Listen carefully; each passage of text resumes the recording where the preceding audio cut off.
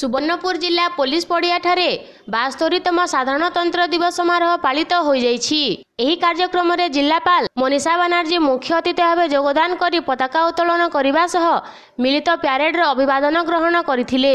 ଜିଲ୍ଲାବାସୀଙ୍କ ଉଦ୍ଦେଶ୍ୟରେ ସୁବର୍ଣ୍ଣପୁରକୁ ସମୃଦ୍ଧ କରିବାରେ ସମସ୍ତଙ୍କର ସହଯୋଗ କାମନା କରିବା ନେଇ ଉଦ୍ବୋଧନ ଦେଇଥିଲେ।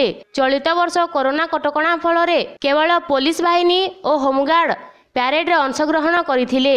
ଏଥିରେ ଜନସାଧାରଣ ଓ ଛାତ୍ରଛାତ୍ରୀଙ୍କୁ ବାରଣ କରାଯାଇଥିଲା।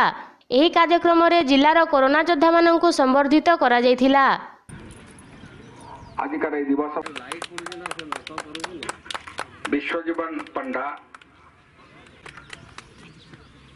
ସୁପ୍ରଭା ପ୍ରଧାନ sanitary worker